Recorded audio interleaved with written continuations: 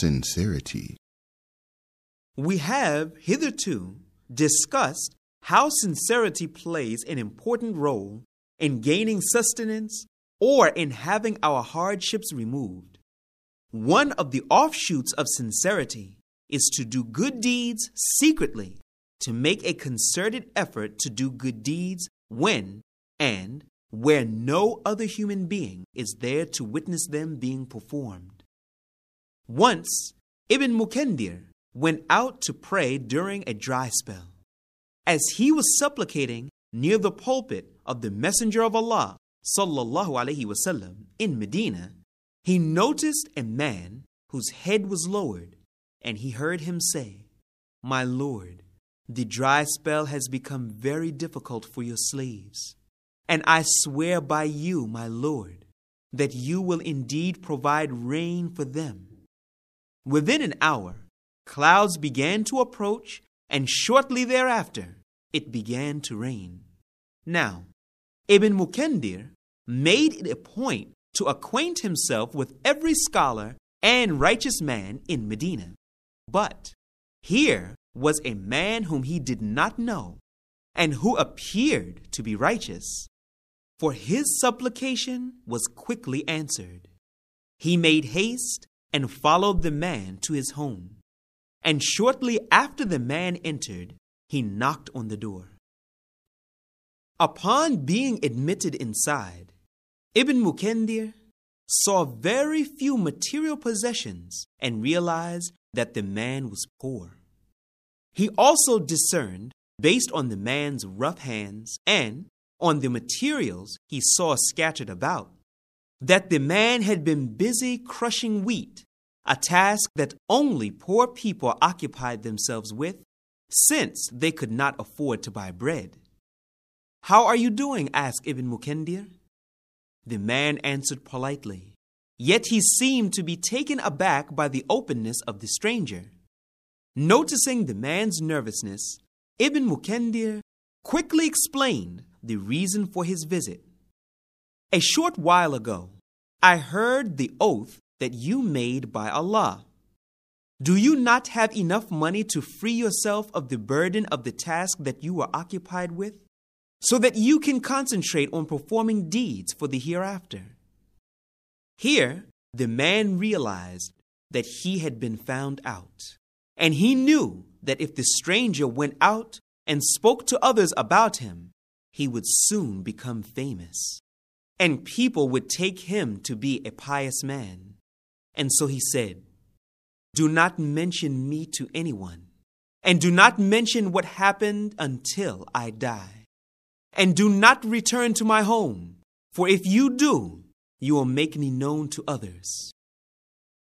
Even though Ibn Munkadir promised not to tell anyone about him, or about how his supplication was quickly answered.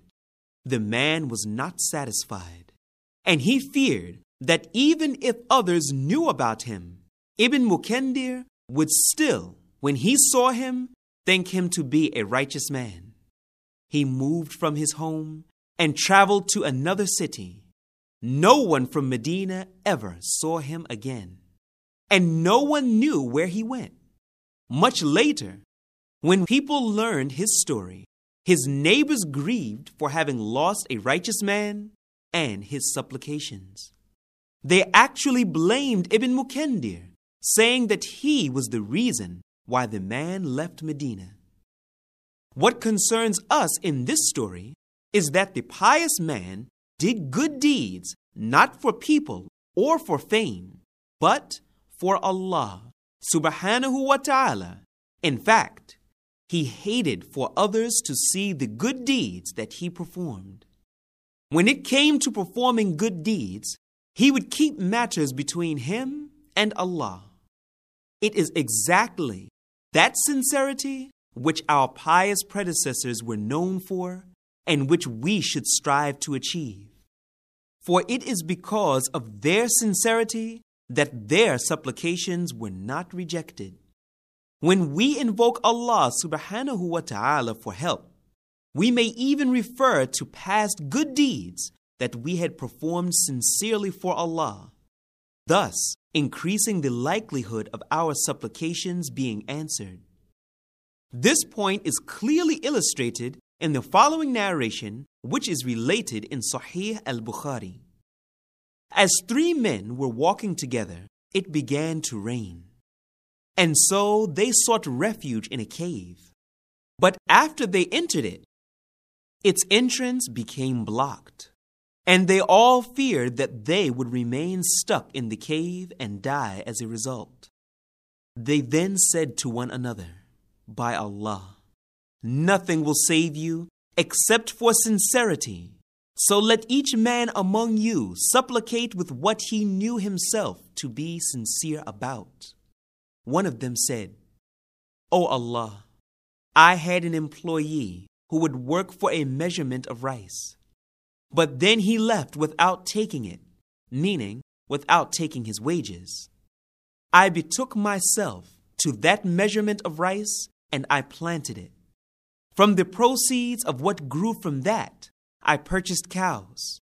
He later returned to demand his wages, and I said to him, Go to those cows and steer them away, meaning they are yours. He said, All that you owe me is a measurement of rice. I said, Go to those cows, for they are indeed from the proceeds of that measurement of rice.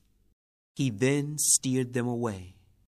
O Allah, if you know that I indeed did that from fear of you, then provide relief for us. The boulder that blocked the entrance of the cave then moved, making an opening, but not one large enough for them to leave through it. The second man among them said, O Allah, I had two very old parents, and I used to go to them every night with the milk of a sheep that I own. One night I was slow to go to them and by the time I reached them, they had already fallen asleep. Meanwhile, my wife and my dependents were crying from hunger. But I would never give them drink before first giving drink to my parents. I disliked the idea of waking them up, and I equally disliked leaving them because they might not be able to see the drinks when they were going to wake up. So I continued to wait until the break of dawn. O Allah, if you know that that was from fear of you, then provide relief for us. The boulder then moved, making an even wider opening, but one that was still not wide enough for them to pass through to safety. It was wide enough, however, for them to be able to see the sky through the hole and they were instilled with a great sense of hope. Then the last among them spoke. O Allah, I had a female cousin who was among the most beloved of people to me. I tried to seduce her, but she refused, saying that she would only have me if I came to her with 100 dinars. I searched out for that amount until I was able to get it. I then went to her with it and gave it to her. She allowed me to come to her. And when I was seated between her legs, she said, Fear Allah and do not break the seal without having the right to do so. Meaning, do not make me lose my virginity in this unlawful manner. I stood up and left, leaving the 100 dinars with her. O Allah, if you know that I did that from fear of you, then provide relief for us. Allah subhanahu wa ta'ala then provided relief for them. The boulder moved, making a sufficient gap for them to go out to safety. Thus, it was through the sincerity they had in performing those deeds that Allah provided a way out for them from a very difficult situation. Humbleness and a sound outlook. We often look around us and see two matters that are confusing to some. the pious person whose supplications seemingly go unanswered, and the wicked person or the disbeliever whose supplications are answered. First, let us consider the situation of the righteous believer who constantly supplicates, though his supplications go unanswered. Such a person must realize that he is being tested and that he must be patient. He must remember the saying of the Prophet sallallahu alaihi wasallam, the slave of Allah continues to remain upon a good situation as long as he does not hurry by saying, I supplicated, but I have not been answered. Next, he must reflect on his situation. Are his food, drink, and clothing lawful and lawfully derived? Is there a sin from which he did not repent? Or is his heart in a state of heedlessness when he invokes Allah? If he arrives at a negative answer to any one of these questions, then he must rectify his situation. In this regard, we have the example of Ibrahim ibn al Khawwas. May Allah have mercy on him. He once went out to stop others from perpetrating evil deeds. But when he left his door, he couldn't go any further, for there was a menacing dog standing in his way, barking and showing him his teeth. Ibrahim quickly retreated inside. He performed two units of prayer and then went out again for a second time. This time, the dog looked docile. It was wagging its tail as if it were pleased with Ibrahim. He was later asked about what had happened, and he said, I myself had committed an evil deed. After the dog prevented me from leaving, I returned and repented from my sin. And you saw what happened after that. Even if one comes up with positive answers to the above mentioned questions, he must take a number of matters into serious consideration. First, life is a test. And to pass the test that one is going through, one must be both patient and thankful. The Prophet ﷺ said, Wonderful is the affair of the believer. Indeed, his affair in its entirety is good, and that is for no one save the believer. If goodness befalls him, he is thankful, and that is good for him. And if harm afflicts him, he is patient, and that is good for him. Second, one might supplicate for something that he ardently desires, but by achieving that thing, he might end up sinning or losing out on something he may otherwise have gained. For example, it is related that one of our pious predecessors would ask Allah for the ability to go out for battle. But then he heard a caller call out If you were to go out for battle, you would be taken prisoner, and you would then have converted to Christianity. And how often is it that we long for things that are bad for us? And through His mercy and wisdom, Allah prevents us from achieving those things. And it may be that you dislike a thing which is good for you, and that you like a thing which is bad for you. Allah knows, but you do not know. Third, when a believer is in need, he turns to Allah, asking Him for help. Now, whether he is answered immediately or not, he is, by supplicating to Allah, performing an act of worship for which he will be rewarded. It is often the case that one who is leading an easy life forgets Allah subhanahu wa ta'ala and the hereafter.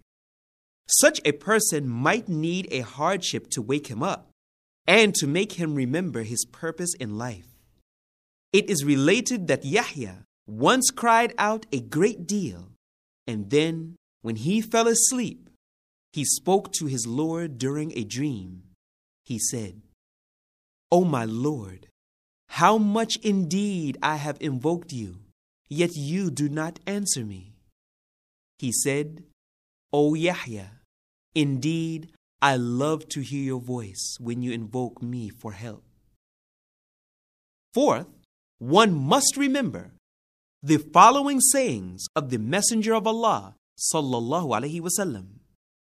No Muslim prays with a supplication that involves neither sin nor the breaking off of family ties, except that Allah gives him for it one of three things.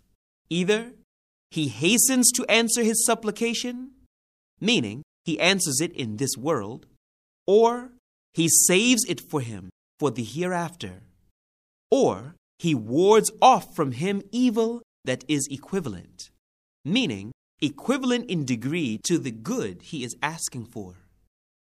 Now, let us consider the opposite situation that of the disbeliever whose supplications are answered.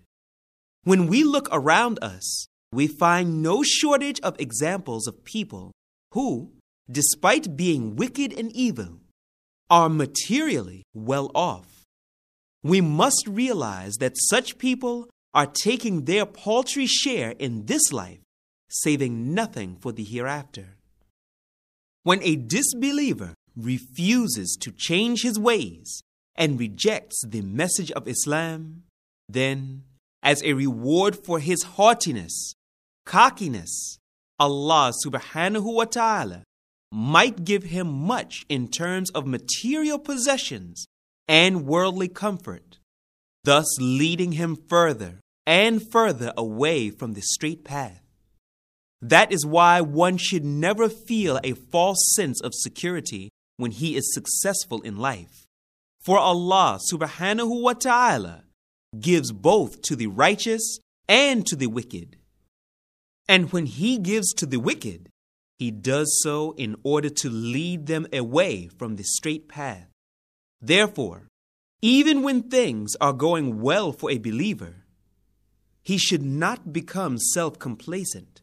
Rather, he should hope for Allah's mercy, yet at the same time, he should fear Allah's punishment.